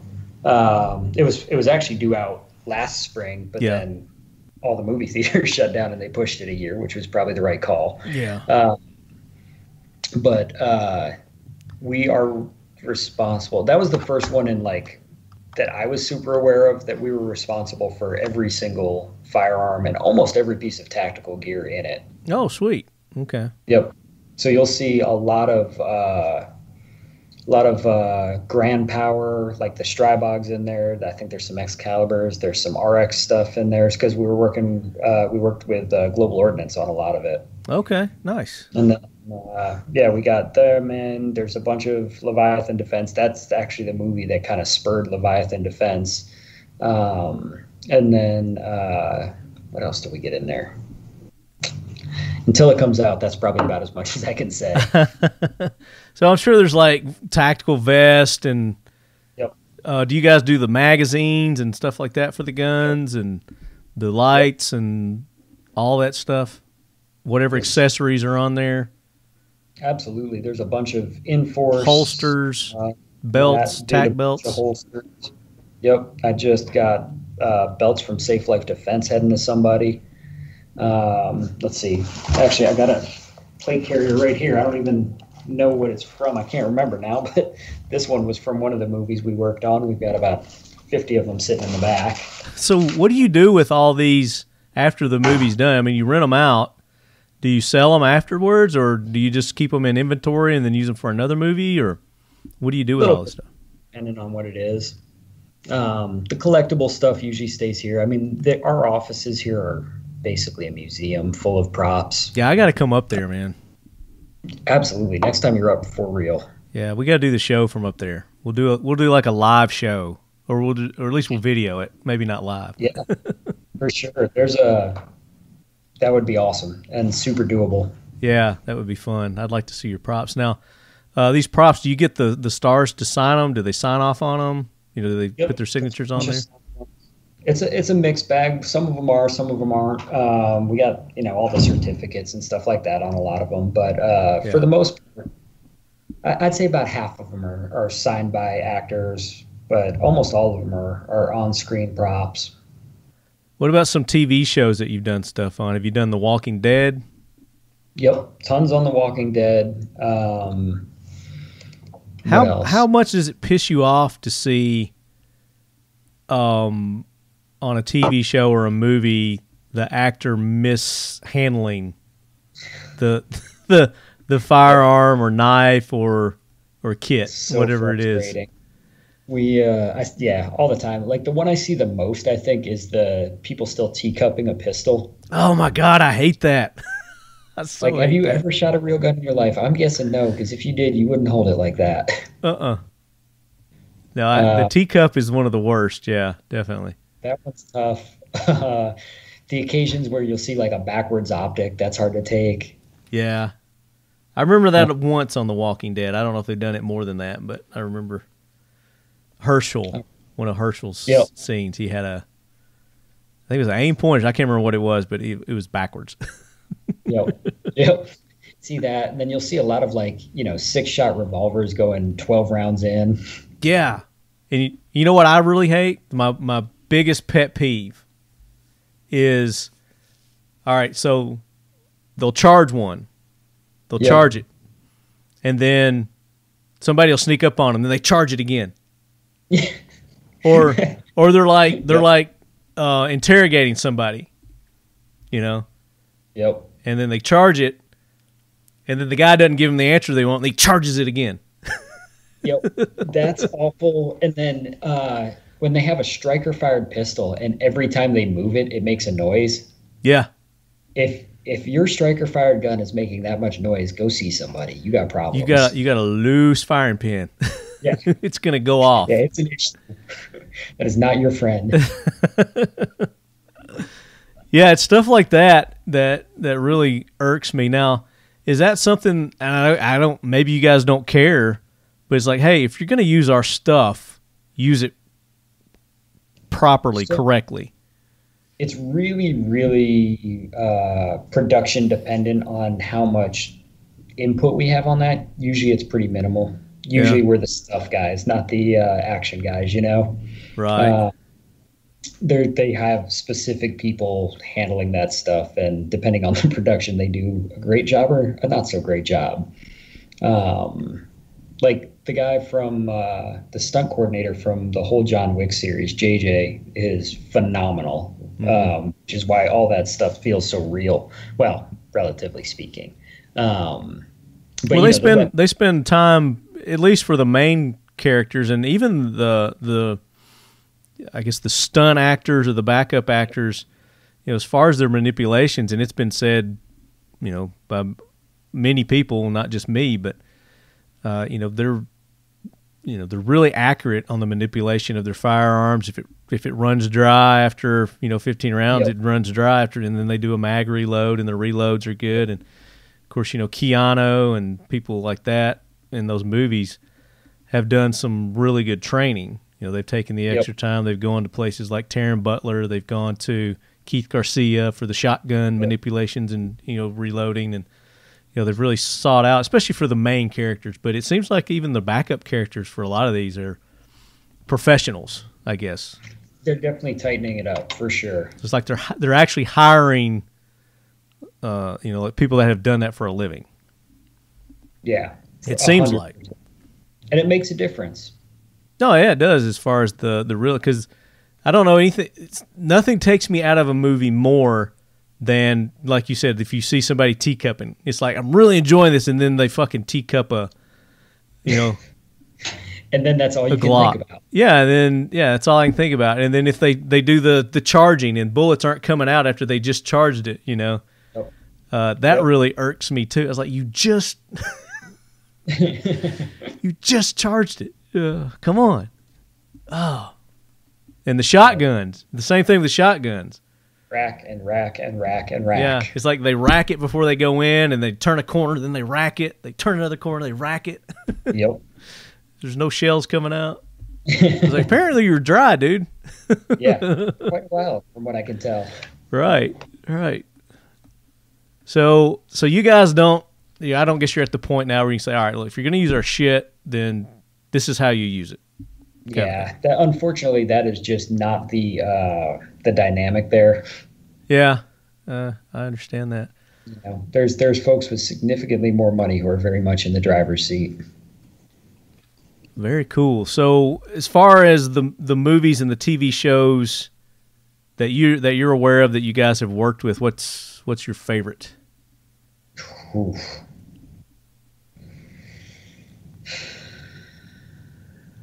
Man. So, favorite to have helped source things for, or favorite to watch? To watch, it's like I'm proud that Yep. our shit's in that movie or that TV show. I mean, uh, John Wick 3 had a lot of stuff from us. And uh, I mean, that's just cool because that's like the pinnacle of gun movies, you know? Like, there is no, No, he There- def- they definitely set the bar for yeah. fire. Like, there's a few that are close, but uh, nobody is above it for sure. yeah. Well, that's cool that you guys had a had a hand in the John Wick stuff. Yep. Yeah, that was neat. Um, then TV shows. Do you know Keanu? I have not met him. Okay. No. I think Jake has. He says he's really nice, as does everybody who's ever met Need him. to get him on the show. Get him on Talking. Lead. I'll let him know. Tell him Lefty wants him on the show. Honestly, you know who uh, I met that was a really, really big gun guy and awesome to work with was uh, Joe Mantegna from uh, Criminal Minds. Yeah, he's a big. Isn't he an NRA guy? Yeah, and a, a huge, huge gun guy, competitive shooter for years. And uh, back in uh, my previous role, I got a bunch of stuff onto Criminal Minds with him. Oh, cool. And he actually let me come out the day they were filming and see it uh, all in action, which was awesome. And that's really cool because you guys can use your connections in the firearms industry to to get exposure for people in these these movies. And if a movie's big like John Wick and your shit's featured in there, then sky's the limit on your Absolutely. your products. Yeah, it gives you that. Like, what I really like about it is it gives you that mainstream exposure. So it's not just like, you know, gun guys talking to gun guys about gun stuff. It's you're actually getting out to um, the rest of the world a little bit, and you know, hopefully that draws more people in because, you know, as somebody who is pretty invested in, you know, the two A community, as it's how my entire family makes our living. Um, the more people we can bring in from the outside, the more diverse we can make it, the more uh, folks we can include in gun culture, the the stronger we are. Yeah. What's one of the biggest um, in dealing with that industry? Mhm. You know, and those type people, knowing that they are, you know, I quote unquote, Sure. you know, the enemy of of of two A. What's what's one of the biggest, I guess, complaints that maybe you hear on their their end when dealing with them, if if you hear any at all, as far as you know, these are like, ah, you know, I got to deal with these guys, you know, kind of thing, or So it may just be due to the folks that we're dealing with and the relationships that have been built over years, but we really don't run into any of that. yeah, Um, just keep the Uh, politics out of it completely. exactly. It's just business. It's just you know checking boxes, getting work done. Yeah, uh, really the hardest part about the movie stuff is they need everything yesterday and they need a lot of them and they need to be perfect and so that that part can get stressful quick but are you guys dealing uh, strictly with modern type uh, firearms, or are you guys doing any historical type stuff too, like World War II, Korean, you know, Uh, different so countries? this this is a, a hard stop because this is still super NDA'd Right. so uh, we're working on a, Shut your mouth. World War II movie right now oh, sweet. yep I love and uh, we've been movies. sourcing crazy. Like this is one of the ones where we're actually doing tons of props, not just guns, and have been having to try to find like old school World War II shit everywhere. So, are you doing like vehicles and everything? Yep. Oh, yep. sweet. Plane parts, anti-aircraft stuff. Uh, Are you guys still hiring? Because I want to apply for that job now. right. I'll It's move to lot. Michigan now. Yeah. So I mean, that's that's got to be like an awesome place to work at Absolutely. at Leviathan. I know you guys had an opening not too long ago, Yep. and I'll be damned. I wish I would have applied for it now, but it was it was like you got to move to Michigan, and I'm like, I don't want to move to Michigan. so, Yeah, no, uh, this has been an amazing um, move for me, that's for sure. Because let's see, I started here basically as a contractor, uh, sort of an outside sales guy back in, a couple of years ago, right? yeah, call it March of 19, yeah. um, give or take. And uh, went to full time as the, uh, like an account exec basically. Then took over sales director, then moved up here and got promoted to uh, VP of business development. And so just been growing like crazy with the company. And it went from five of us to now there's 13 or 14. We just hired like three new people. Oh wow. Moved into a new spot. We actually took over five units in the uh, Mall of Monroe, Michigan, which is exactly sad as it sounds. and uh, but we took over five units, got them completely overhauled. Now we've got a studio, awesome break room, conference room, bunch of admin offices, uh, storage for all the props, shipping department, stuff like that. Very nice. Yeah, so it's like turnkey. We can do almost everything here now, and uh, it's all nice Well, I'm, and new. I'm putting my name in the hat for the next uh, position that opens up there because I think I would uh, reconsider moving to Michigan for for that, or if we could work something out to where I wouldn't have to. You know, maybe I'm you know I'm the, the the locator going out to Hollywood and There you go. know finding the people that need the, the props and stuff, which I'm sure you don't have any problem finding. I was gonna say, man, if we can figure that out, I would be back in West Virginia in a heartbeat. Yeah, I was like, that's a huge move for you because you moved from West Virginia to to Michigan. That's like a huge culture shock, huh? Yeah, the least populated county in West Virginia, with my nearest neighbor being about a half mile away, to my nearest neighbor being about 12 feet away. So that, that was a definite lifestyle change. But on the plus side, there's food options, uh, and they're they're open past six, so that's neat. There you go. You can actually get out and about. Yep. How are Always- how speaking of how how are they on the uh the COVID stuff? Are they pretty loosened up there? Michigan, Michigan, it's been a mixed bag. So it was a hard lockdown for I don't know, call it two months at the beginning, give or take, and then stuff sort of opened back up and then shut down again. But right now, I think restaurants are at like fifty percent capacity. Uh, you have to wear a mask unless you're sitting, and you're supposed to give a name and phone number for contact tracing at the when you check in, which I don't love, but. uh I mean, do you have to?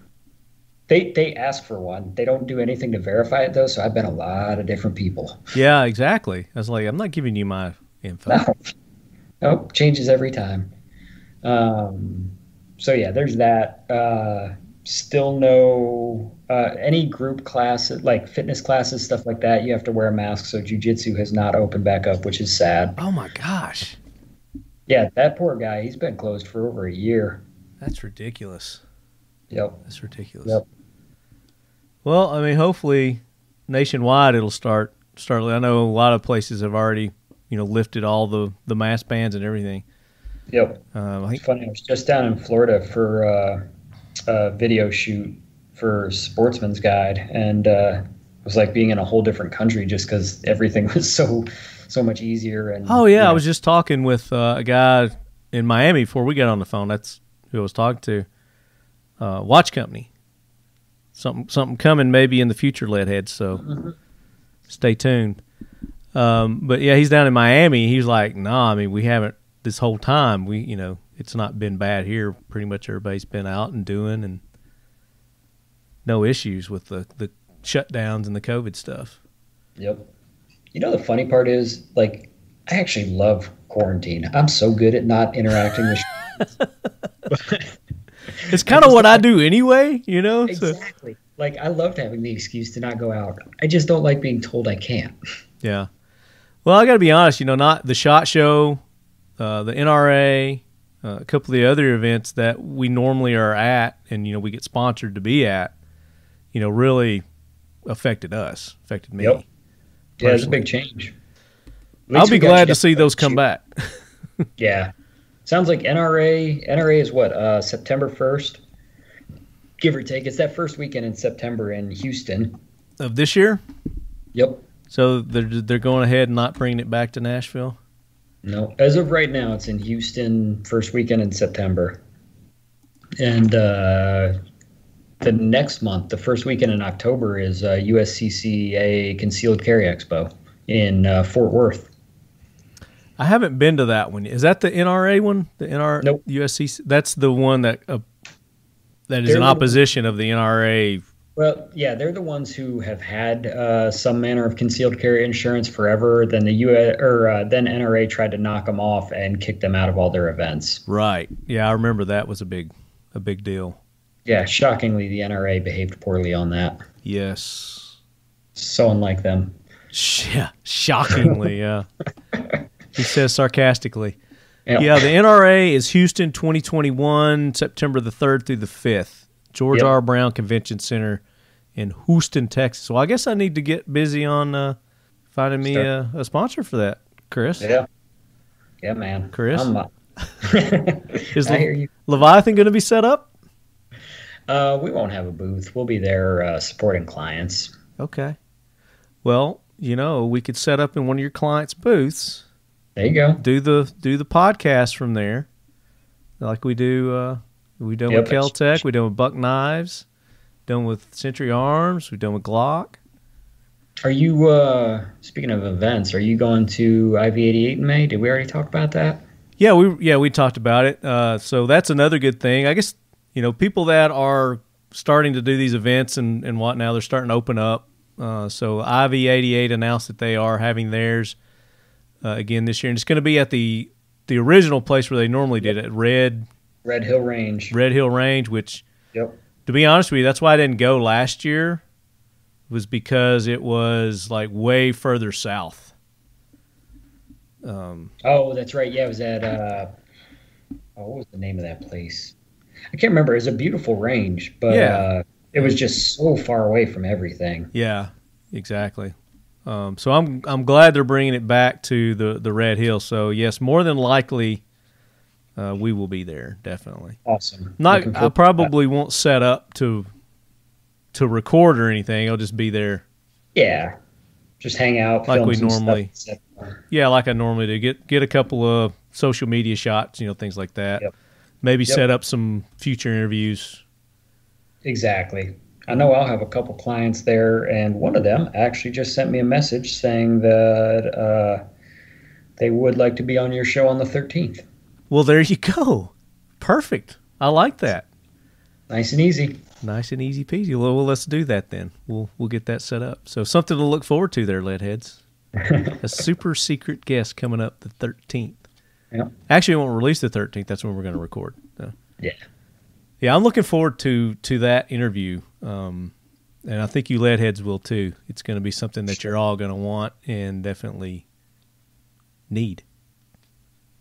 Yeah, and I mean, stop me if you don't want to talk about it too much here, but Uh-huh. to me, um, like, is it right to talk about survival food for just a second? Well, let's let's let's talk about being prepared. Yeah, Uh, exactly. Preparedness, think though. Yeah. A lot of things. Um, you know, it's easy to own a gun and be like, okay, I'm safe now, but that's not real. No. Like, A, get some training because if you didn't spend at least as much on training as you did the gun, you're doing it wrong. Um, and then B, things like water, food, medical. Um, if you're not secure on any of those fronts and prepared to, you know, handle those things for yourself for at least couple weeks, you're probably in trouble if things go wrong.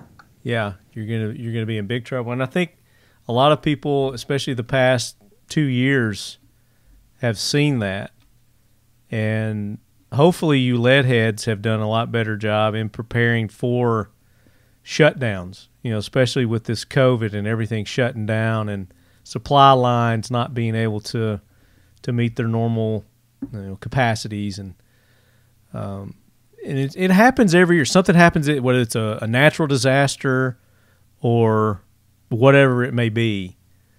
Yeah. Uh, there's been enough things that's happened in our lifetime to know that you got to have supplies on hand and at least a month, you know, two Yep. months of food and water and medical supplies and ammunition Yep. and Yep. and guns, which I'm sure all our listeners have, uh, you know, plenty of guns to go around. But I'm not sharing mine. nope. not sharing my guns. Uh, I'll share my ammo if somebody tries to come get it. You know what I mean? Yep. um, but but it's one of those things you can't over preach and you can't over emphasize. And and we were kind of alluded to to her who our guest is going to be. We're going to be talking about the the food storage side of things coming up on that episode. So uh, Yep. definitely something to look forward to. Being hungry sucks, man. Well, as you can see, quarantine has been uh, has been good to me. I choose to believe those are just emergency stores. Yeah, there you go. I'm storing up. You're you're preparing. this is my winter weight, man. Come on, winter weight. Summer's coming. Sun's out, shit. guns out, baby. Yep. Yep. It's almost pool party season. It, my pool is open. See? It is cold as balls, but it's open. Yeah. So we got to get you to come to Tennessee. Indeed. I like Tennessee. It Tennessee's a great place. So, um, and they do a lot of filming here these They days. There's, and they're starting to do more. And you guys don't have income tax, and I love that. Exactly. We do not. I heard the other day that they're um, they're supposed to be doing something uh, to entice more of the the TV and movie industry to come here, as far as like tax incentives some and, sort of and things like that to make it you know competitive with Atlanta because Atlanta has got all kind of Marvels in Atlanta. Yep. You know, all the Marvel stuff's filming down there. The MacGyver show is filming in Atlanta. Stranger Things is in Atlanta. The whole Walking Dead series. Walking Dead, exactly, which I think they're done with that now, isn't it? About Yeah. ready to to spin down. They're supposed to be doing some movies and stuff of the Walking Dead. I don't know if those are ever going to come through or not. Yeah, I watched uh, I watched that show through whatever was on Netflix. So I think I'm like two seasons behind at this point. Okay. I had uh I was like watching it religiously there for a while. And then I got off and I missed like two or three seasons. And then I started watching like season 10 Yep. and I was just like completely lost. Who are these people? I mean, as far as the people, yeah, but the storyline's still the same. You know, Yeah. they're they're surviving, trying to kill the zombies while this pack of evil dudes are trying to kill them, you know, kind of thing. So Yep. New set of evil dudes, new season. Yeah, they've got some cooler weapons too. I've noticed. Yeah. I, I think they they found some cans along the way. It's crazy how many full autos those guys found. Right? All the full autos. All the they found them all. well, I mean, like- they're just going to be lying around. Nobody's using them. All the military's dead, Yep. so somebody's got to have them. Um, but yeah, man. Um, if when and when and if you've got like new movies and TV shows that are coming out that's going to be featuring your stuff, be sure to let us know. I'll let the Yeah, leadheads know. We'll be looking for them. And um, where can they find you guys? Are you on the social medias and all that stuff? I'm sure. Yeah. Um, so we've got there's the Leviathan Prime site, which is a bunch of the products that are for sale. Leviathan Group LLC has uh, it's like a lot of the behind the stuff, uh, behind the scenes stuff for things we're doing here, and then there's a couple others that are all Leviathan based. But the Leviathan Group uh, Instagram is probably the most interesting. Now, what was the site you said where the stuff's for sale? That's where I want to go. Uh, Leviathan Prime. Is that a, a website? Yep. Yep. There's uh like I know we've got I think we've still got the uh the Dirty Girl bats that are very similar to Negan's bat from uh Walking Dead made by the same guy. Uh those are for sale on there. I believe there's some Thor's hammers on there. What? Y'all did the the Thor's hammer? So we've got mini ones on the site for sale right now. We've got the real one, the real Mjolnir here from Thor. How did you get that? I'll be honest, I have no idea how You don't got it. know how you got that. That's that one's pretty cool. We've got uh, Captain America's shield here, which is No pretty cool. We've got uh, the Thanos' original- glove. You got his gauntlet. Yeah. yeah, we've got a gauntlet that articulates. You can make it snap, and the jewels come out. Um, Cool. we've got. I'm uh, coming to Michigan, dude. trying to think what else is cool. We've got a uh, original um, Darth Vader helmet signed by every major cast member. I'm just looking at your stuff here. Um, so you got patches. You got Yep. Thanos' gauntlet on there Yep. for sale. One thousand two hundred fifty dollars. Was that used in the movie? No, that so that's a replica, but they're all metal and they're fully they fully articulate, so you can actually wear it and use it. Now, do you guys make those yourself? Is Leviathan We commissioned them. commission them? Okay. Yeah. There's the Dirty Girl bat, Lucille, 150 bucks. Yep. There's you a got- version too. There's a what? a War Hardened version of that bat, which is essentially a uh, I can't remember now whether it's a lead or a steel core, but basically it's the mean spirited version of the mean spirited bat. Dirty Girl Bat War Hardened Edition. Have you ever wanted to lead a gang of outlaws during the apocalypse, but couldn't because you lacked the proper weapons. Well, look no further with the Dirty Girl bat made with real barbed wire. It's a real home run, and so are you. Limited edition prop replica. The War Hardened edition is weighted to provide extra smashing power. Yep. Also, the bat is wrapped with additional red tipped barbed wire that really pops. It does do that. What is it like? Make a sound? No, it just will pop through anything it touches. It's really Ah, I got you. I got you. I got you.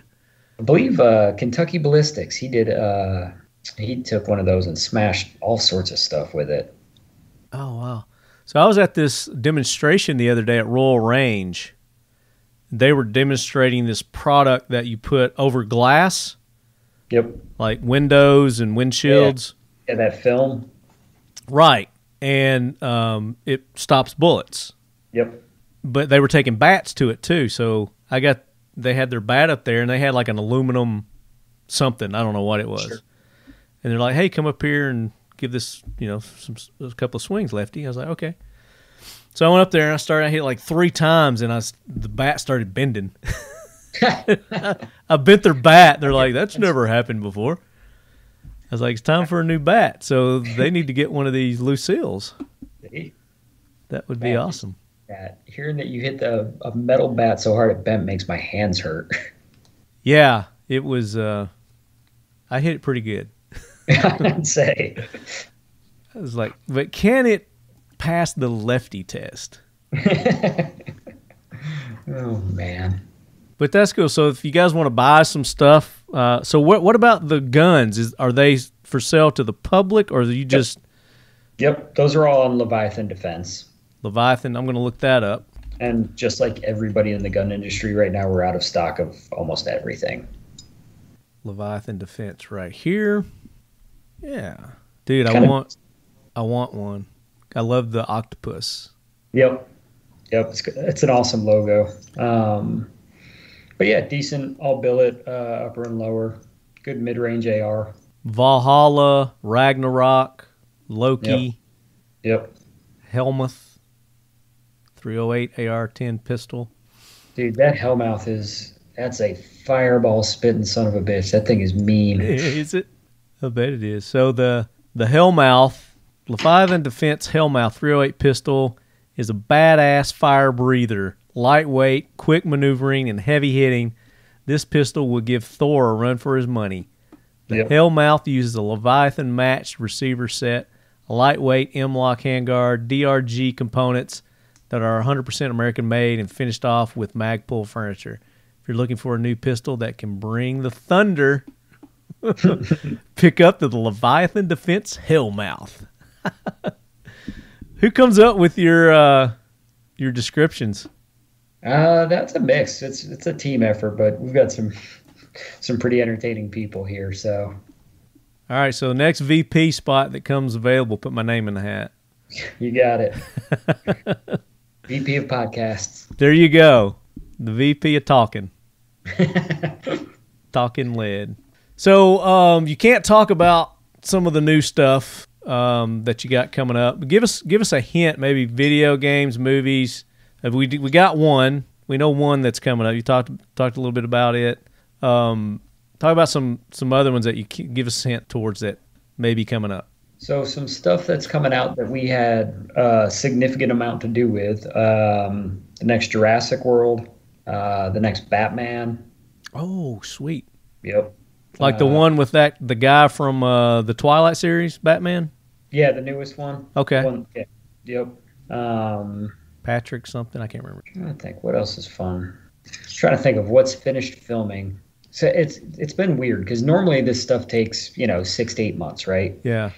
But with COVID in the middle, it slowed everything down. So all these projects that were started Oh, I know. ago now are just finally getting completed. And at this point, I've kind of forgotten like what's in what stage because it's gotten pushed so many times. But are you guys seeing that it's starting to pick up again now? Absolutely. Yeah. That's a good sign. Basically back to full speed, uh, particularly anything filming in Europe. Mm. Are they not as strict over there? Uh, it's just being handled differently. Like Yeah. California is still essentially closed. Yeah, Europe they just uh, essentially made like exclusion zones where it's open to movies and they just have to stay in and there's really rigid testing and stuff like that. Yeah, cool. Well, that's Yeah. good. I mean, that's a good sign that you know if Hollywood's opening back up, then uh, should be you know everything else should be following suit. And that's the hope. But that's cool. So guys, check out Leviathan Defense. Uh, they've got some cool rifles there, some pistols. Uh, but again, like Chris said, I guess they're they're out of most stuff. Have you got like an ETA or any, I know you can't give an ETA, but you are you out of receivers and everything? We should have, at the very least, we should have some matched receiver sets in the very near future, like the next week or so. Um, Can I'm i get one of those? Probably. Okay. Um, I want to not do some builds. Yeah. I've got a uh, I've got a 762 barrel that I want to build an AR around. Yep. So if you Yeah. guys got the parts for that, you want to send them to me, I'll do give you guys credit for it. There you go. Hell yeah. Yeah, I'll find out. I know we might even have the uh, receiver sets here already. Nice. I think they're not on the site yet. And then for like the memorabilia patches, apparel and stuff like that, it's leviathanprime.com, Yep. uh, which I would guess you guys probably add stuff to that all the Oh, time. that's constantly changing. Is that where they would go find maybe if they wanted the if you guys were selling the vest or something like that, like Yep. gear and Yep. Exactly. but the defense if they were, if you're doing optics or something like that, would that go on the defense side or would that still be over on the Yeah, that'd probably be defense side. Gotcha. That's cool. So you could own, you know, possibly a movie prop, something that was in a, a cool Yeah. movie. Absolutely. So we did that with um, um, the watch company, S and B Watches. Yep. They had done a, series of watches for a, a Bruce Willis movie Oh, nice. that he Die had Hard, released. or not Die Hard. Uh, what was the one that came out where he had that super sweet piece of furniture from New Jersey Concealment? I don't know the name. I think the name of the movie was In Time, Oh, okay. It's not the one I was thinking of. Something like. It wasn't a very good movie. I'll just go ahead and say it. It, Sure. it's- What it is? if if you, Bruce Willis has done a lot of B movies lately. yes. He's like he's like the Steven Seagal now of of movies. It seems like once they once these action heroes get in a certain point in their career, it's like they're just putting out a movie every week. right. Checking boxes, getting a paycheck, getting ready to retire. Exactly. You know, I think I think that maybe that's the formula. I don't know, but you know, he's been in a lot of these just really not die hard quality movies. kind of kind of stuff. But this was one. It was a decent movie. And it had Michael Chiklis in it also. Yeah. Um, but we gave it away at Shot Show. It was one that was actually used in the in the movie. So, Oh, nice. So it was kind of cool. So maybe we'll get with you guys and maybe come up with a prop and do a giveaway for our for our listeners in the future. For sure. That'd be kind of cool. Well, very cool. So, Chris, I really enjoyed catching up with you. Absolutely, man. Always. I could always I could go another two hours with you on this talking, you know, talking stuff. Uh, I got all kinds of questions and nerdy stuff that I I can nerd out on you big time. Yep. Uh, we'll save that for another episode. There you go. Next next round. Next round, yeah, definitely, definitely. Well, all right, guys, go go show Chris some love. Uh, do you have a personal? You've got a personal Instagram, Facebook, right? Yeah. Do, do you want people Uh, to go there? Sure. If if you uh, want to follow my Instagram and come to the realization that I only post once every like six months or so, it's uh, just a dude named Chris. Uh, if you want to follow my uh, little side hustle for uh, oh, we didn't talk about that. So yeah, Chris is Chris has actually got a product that he's making of, of his own. It's pretty badass. So let's talk about that real quick. Yep. So I, I partnered with uh, Ryan Hoover and Amber Stuklinski. Uh, they're part of Fit to Fight North Carolina, doing, you know, real gritty, like real world combative self defense stuff. You know, started as Krav Maga years ago and really uh, evolved from there to something that's a little more um, realistic, I guess we'll call it. Uh, and Ryan uh, actually came up with this knife design, which is it's really designed to just be like the perfect backup, easy to conceal fighting knife. So, you know, it's not a camp tool. You're not going to split wood with it. Like, you're not going to open boxes all day. Like, You're gonna This cut flesh. yeah, this is meant for putting holes in bad guys if they're trying to kill you. Um, and, so it's yeah, kind of got a, like a karambit design. Got a Yeah, so circle it's got the, the finger hole. loop, You can't lose it, but it's a straight blade with a uh, uh, Tonto uh, point. Just uh, no serration, straight edge, uh, and it's really, really flat and thin. I don't know if you can see it, Lefty, but it's I yeah. mean, I mean, it's real thin. And that's just so that when it's concealed with the sheath, which is designed to be IWB, um, mhm. it's it sits really flat against your body and it's hard to see. yeah. What would you say that weighs? Oof. At most, like six and a half ounces, maybe. What I like about it is it's got that deep uh, pinky.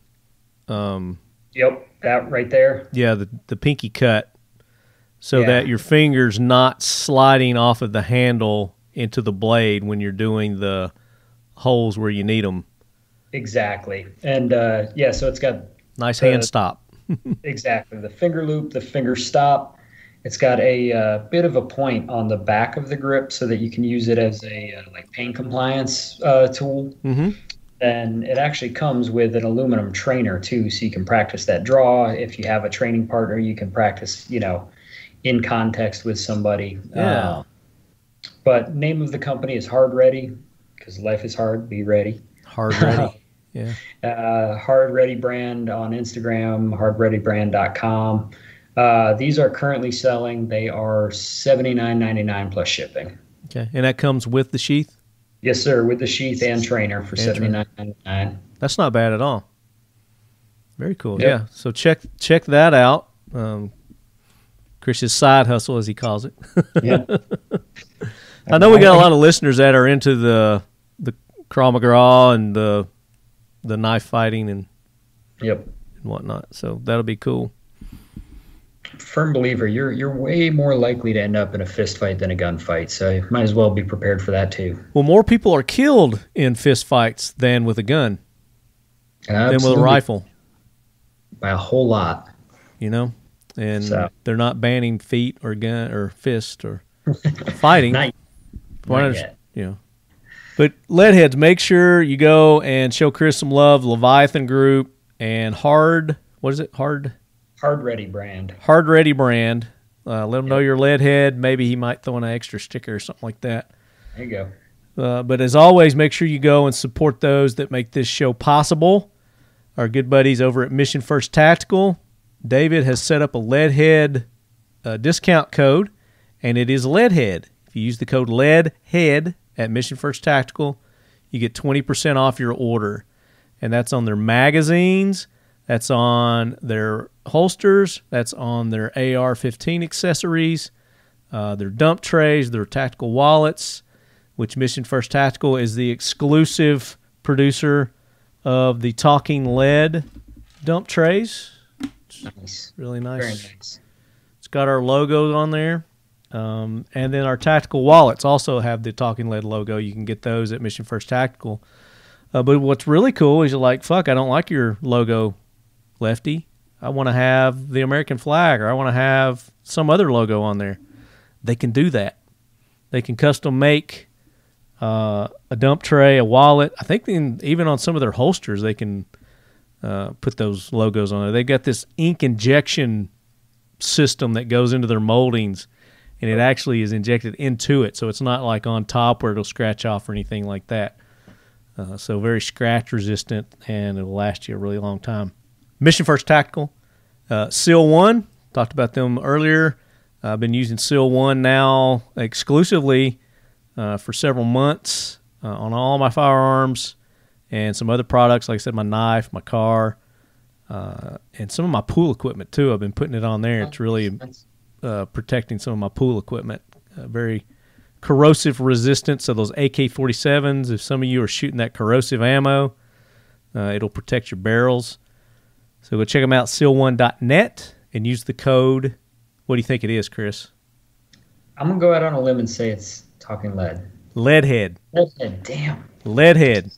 You teed it up for me and I dropped it. You dropped the ball, man. Come on. 25% off at Seal One on any of the products that they have there. Uh, and then our newest sponsors, Nemo Arms. They're making very high end rifles, shotguns, pistols, very nice. And of course, like Chris said, everybody's kind of hurting on, on products and whatnot. So expect a back order, but it's going to be well worth the wait. Uh, you can use code TL10 and you're going to get 10% off anything at Nemo Arms, and that includes firearms, which is unheard Nice. of. Man, they got that uh, 300 Win Mag AR. That thing is sick. They actually invented that. They were the first to come out with the 300 Win Mag AR.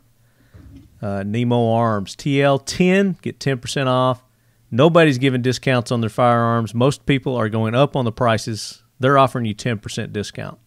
Yep. So go go check them out. And I should have a shotgun review coming up soon from them, Leadheads. So stay Nice. tuned for that. Uh, and then ASP USA, our good buddy Michael Hess over there. Any of their flashlight, and ASP is ASP, so most of you know them as ASP, especially in the law enforcement community. Uh, they've got the batons, the cuffs. Uh, you know, make a lot of equipment for our law enforcement men and women. But any of their flashlight or flashlight accessories, you're going to get 20% discount if you use the code LED20.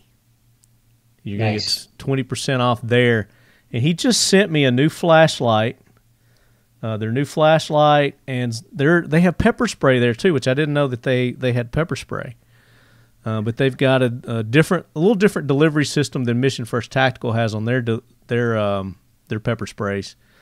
Uh, so he sent me a couple of those too. I'm going to be testing and trying out. Uh, and then I've got one of their um, mini batons Mm-hmm. um, that I'm going to be trying out too. It's pretty cool. Um, so yeah, ASP, ASP USA, 20% off, lead 20. And then Chris, you know, I do this new series called the AK Corner. Yep. It's actually not new, but this is our third year that we've been doing it, so it's kind of new. Once a month segment that we do, and we've got a badass logo that was created for us last year for the AK corner, and we've got those on t-shirts, hoodies, women's shirts, uh, and mugs, tumblers. Now you can get those, and that's at Factory Forty Seven, F A K T O R Y forty seven dot com and we've got our badass Talking Lead AK corner logoed apparel there. Leadhead is the discount code. It makes sense. I've tried to keep it the same. Yeah. You know, if somebody will talk to me before they set up the codes, I'm going to say make it Leadhead because it's just easy for our listeners. It's easy for me. Uh, and Leadhead's going to get you 10% off at factory47.com. Let's go check that out. And then Armor Concepts, we had them on a few episodes back. Talked about home fortification, Chris, the importance of home fortification. Uh, they've got these um, door armor, basically reinforcements that you put around uh, your door frame, and pretty much makes it virtually impossible for someone to kick that in. Nice. So as as many deterrents as you can can give a would-be intruder into your home, the better. And Armor Concepts use the code TalkingLead25. You get 25% off there.